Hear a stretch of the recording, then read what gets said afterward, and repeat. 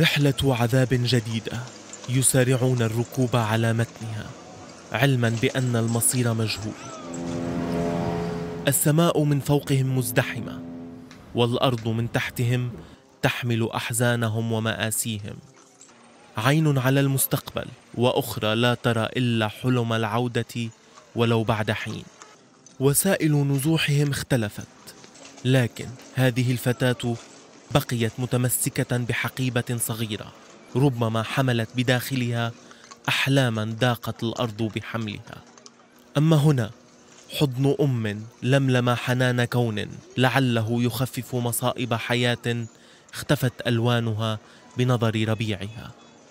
الطرقات الآمنة جنوبا لم تعد آمنة وبشهادة أحد النازحين.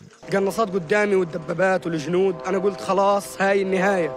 أنا هاي النهاية. بأعجوبة بأعجوبة والله بلطف الله عز وجل.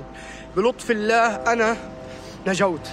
حال النازحين على أرضهم في المدارس التابعة للأمم المتحدة مترد والدليل افتقار هؤلاء لأدنى مقومات الحياة.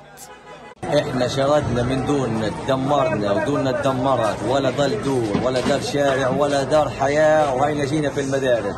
ولا ملاقين مي ولا أكل ولا شرب ولا ملاقين أي حاجة.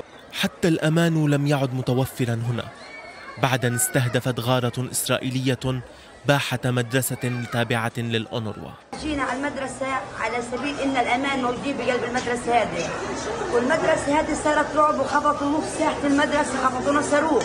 بين القصف شمالا والنزوح جنوبا تبقى براءة هؤلاء الأطفال تبعث أملا رغم قلته. إياد حمود العربية.